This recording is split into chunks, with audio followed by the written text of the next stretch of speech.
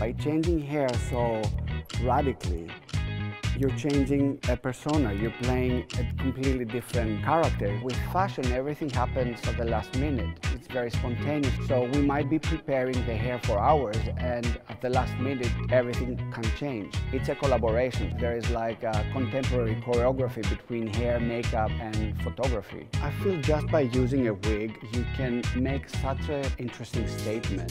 A girl with brown hair can suddenly look super cool with a bleach blonde wig or pink hair. I love creating different looks, different textures. My signature style is shape, texture and volume. My goal is to keep on dreaming. I feel like inspiration has no end. Every time I'm doing a new project, I learn something from it and I get inspired for the next one.